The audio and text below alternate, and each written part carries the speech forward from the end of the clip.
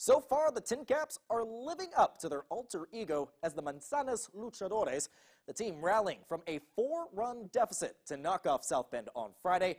Could they keep it rolling?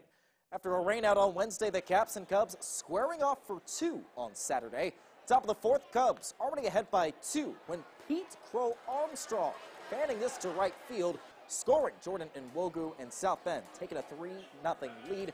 Bottom of the fourth, Caps getting two back with walks on bases loaded. And Reinaldo Ilarraza grounding this. He is tagged at first, but it allows Lucas Dunn to score the tying run. Cubs do take game one, however, 6 to 3, but the Caps take game two, 1 0. Series wrapping up on Sunday. First pitch set for 1:05 p.m.